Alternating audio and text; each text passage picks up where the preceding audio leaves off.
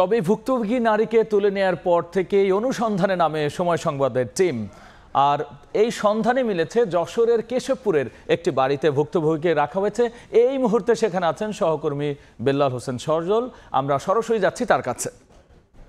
খুলনায় চাঞ্চল্যকর কলেজ ছাত্রী যে ধর্ষণের অভিযোগটি উঠেছে এরপরেই কিন্তু আমরা দেখেছি গতকাল রাত থেকেই মূলত তিনি খুলনার one stop Khulna medical college হাসপাতালে যে ওসিসিতে ভর্তি হয়েছেন। এরপর থেকে যে আলোচনা আসে যে বিষয়টি আজ বিকেল সোয়া পাঁচটার দিকে একটি মাইক্রোবাসে করে তাকে যে খুলনা মেডিকেল কলেজ হাসপাতালের সামনে থেকে যে অপহরণ বা তুলে নেওয়ার যে অভিযোগটি ঘটেছে এরপরে কিন্তু আমরা অনুসন্ধানে নামার পরে খুলনার বিভিন্ন স্থানে সন্ধান চালিয়ে এবং সেই মাইক্রোবাসটিকে ফলো করে কিন্তু আমরা এই মুহূর্তে রয়েছি খুলনার যে যশোরের কেশবপুরে। কেশবপুরে এই বাড়িটিতে আসার পরে কিন্তু আমরা দেখেছি যে এখানে কিন্তু সেই যে অভিযুক্ত বা ভুক্তভোগী যে নারী, সেই ভুক্তভোগী নারী কিন্তু এখানে রয়েছেন। সাথে তার মা রয়েছেন এবং তার চাচিও রয়েছেন এই জায়গাটিতে।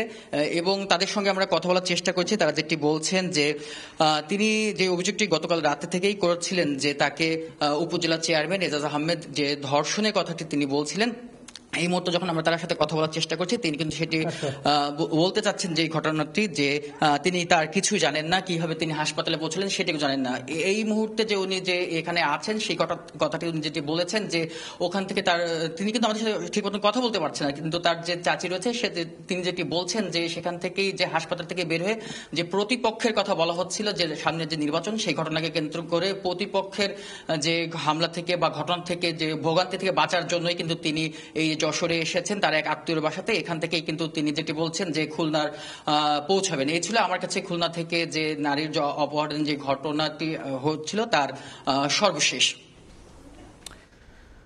তুলে নেওয়ার পর ভুক্তভোগী নারীকে কোথায় রাখা হয়েছে, এই সন্ধানে বের- হয়েছিল সময় সংবাদের টিম এবং তাদের সন্ধানে বের হয়ে এসেছে যে যশোরের কেশবপুরের একটি বাড়িতে কিন্তু তাদের অবস্থান এবং সেই ঘটনার সবশেষ নিয়ে আমরা সরাসরি ছিলাম ঘটনাস্থলে।